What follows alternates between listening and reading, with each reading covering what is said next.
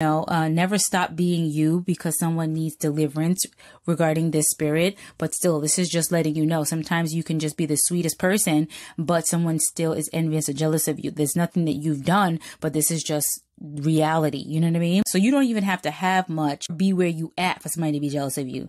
A lot of jealousy stems from potential. Remember that you can potentially be successful. You could potentially make more money. You could potentially get a husband. You could potentially lose weight. You could potentially upgrade your wardrobe, your house, your car, your self-esteem. See, it's all about the potential that gets people bothered. You're not even there yet. You in the corner rubbing your two pennies together and they imagining you rubbing two hundred dollar bills together together. You know what I mean? So it's like, just imagining you in a higher position is making people envious and jealous of you. And this is the problem.